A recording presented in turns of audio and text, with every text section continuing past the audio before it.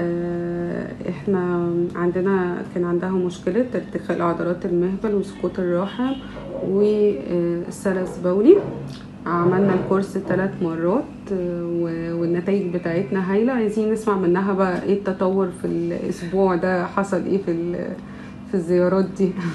اولا دكتور أنا عايزة أشكرها اولا لأن هي اللي طلبت إن هي تقول للناس التجربة علشان الناس يستفيدوا فعايزة أشكرها إن هي اللي طلبت ده بنفسها. تسلمي حضرتك.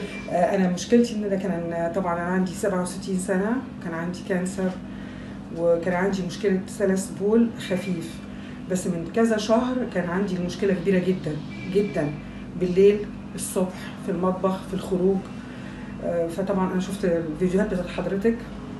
وكذا حد قال لي على حضرتك أنا من من من أول جلسة بدأت أحس ب control في في ال pee pee يعني حاسه إن أنا قادرة أروح الحمام قادرة إن أنا أحس إن أنا آه، إحساس ان إن أنا أروح الحمام دي ما كانش عندي خالص.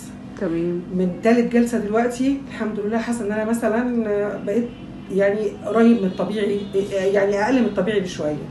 فطبعا بتشكر لحضرتك جدا جدا ربنا لأن أنا يخليك. اتحسنت وأنا ما كنتش فاكرة هتحسن كده بصراحة الحمد لله وده في وقت قليل جدا ده أثر عليا. وعلى الفاميلي يعني أنا عندي. أسرة فرحانة بيا أكتر من أنا فرحانة بنفسي الحمد لله